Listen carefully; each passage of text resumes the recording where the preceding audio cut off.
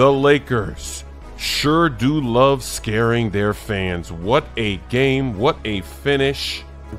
No Brandon Ingram tonight for the Pelicans, but they're going to get 27 points from Zion and 22 points from CJ McCollum.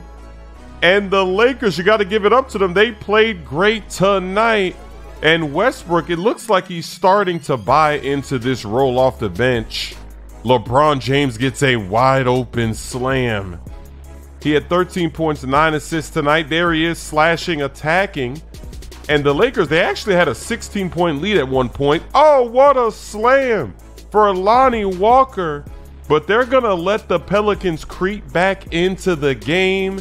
And the Pelicans are actually going to take the lead late in the fourth quarter. They can't stop the young bully as he continues to attack in the paint. And then CJ looking like a menace, pump faking defenders away. Pelicans with a one point lead. LeBron out of the post with the fade misses.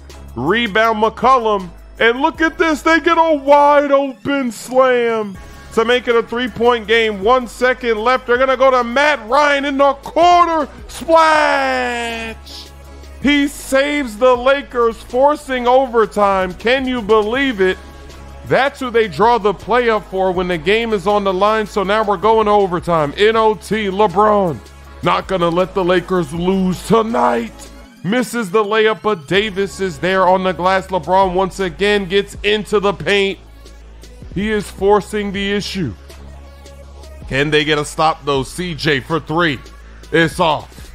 And that's going to do it. The Lakers survive in OT. What a thriller.